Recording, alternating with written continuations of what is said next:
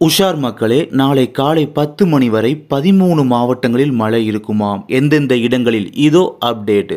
தமிழ்நாட்டில் அடுத்த மூன்று மணி நேரத்தில் திருவள்ளூர் சென்னை காஞ்சிபுரம் செங்கல்பட்டு ராணிப்பேட்டை வேலூர் திருப்பத்தூர் நீலகிரி கோவை திருப்பூர் தேனி திண்டுக்கல் மற்றும் ஈரோடு மாவட்டங்களில் இடி மின்னலுடன் கூடிய மிதமான மழை பெய்யக்கூடும் என வானிலை ஆய்வு மையம் தெரிவித்துள்ளது. மேற்கு திசை காற்றின் வேக மாறுபாடு காரணமாக இன்று தமிழ்நாடு புதுச்சேரி மற்றும் காரைக்கால் பகுதிகளில் ஓரிரு இடங்களில் இடி மின்னலுடன் கூடிய லேசானது முதல் மிதமானது மழை பெய்யக்கூடும்.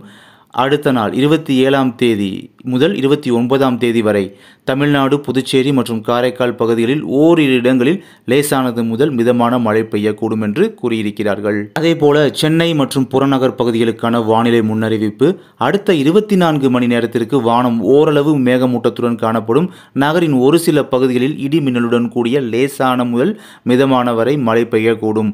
அதிகபட்ச வெப்பநிலை முப்பத்தி ஆறு டிகிரி செல்சியஸ் மற்றும் குறைந்தபட்ச வெப்பநிலை இருபத்தி ஏழு புள்ளி இரு இரண்டு எட்டு டிகிரி செல்சியஸை ஒட்டியே இருக்கும். அதே சமயம் மீனவர்களுக்கான எச்சரிக்கை வங்கக்கடல் பகுதிகள் இருபத்தி ஆறாம் தேதி குமரிக்கடல் பகுதிகள் மன்னார் வளைகுடா தமிழக கடலோர பகுதிகள் மத்திய மேற்கு வங்கக்கடல் பகுதிகள் மற்றும் அதனை ஒட்டிய வடமேற்கு வங்கக்கடல் பகுதிகளில் சூறாவளி காற்று மணிக்கு நாற்பத்தைந்து முதல் ஐம்பத்தைந்து கிலோமீட்டர் வேகத்திலும் இடையிடையே அறுபத்தி ஐந்து கிலோமீட்டர் வேகத்திலும் வீசக்கூடும். அதே போல ஜூன் இருபத்தி ஏழாம் தேதி முதல் இருபத்தி எட்டாம் தேதி வரை குமரிக்கடல் பகுதிகள் மன்னார் வளைகுடா தென் தமிழக கடலோர பகுதிகள் இலங்கை கடலோர பகுதிகளை ஒட்டிய தென்மேற்கு வங்கக்கடல் பகுதிகளிலும் சூறாவளி காற்று மணிக்கு நாற்பது முதல் நாற்பத்தைந்து கிலோமீட்டர் வேகத்திலும் இடையிடையே ஐம்பத்தைந்து கிலோமீட்டர் வேகத்திலும் வீசக்கூடும்.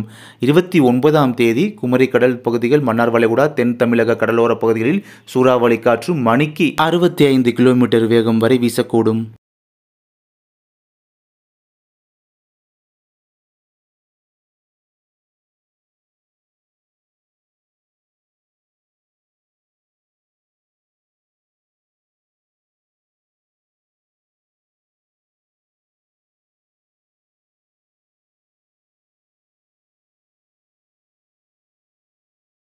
ஆதலால் மேற்குறிப்பிட்ட நாட்களில் மீனவர்கள் இப்பகுதிகளுக்கு செல்ல வேண்டாம் என்று அறிவுறுத்தப்படுகிறார்கள்.